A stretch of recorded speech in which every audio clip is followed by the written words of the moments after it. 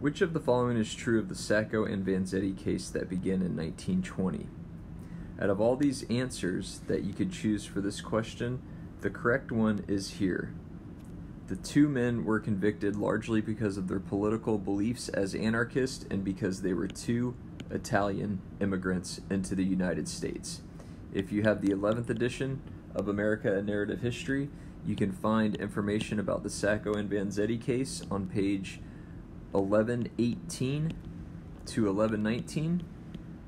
If you are using the 12th edition of the book, you can find this content on page 1095.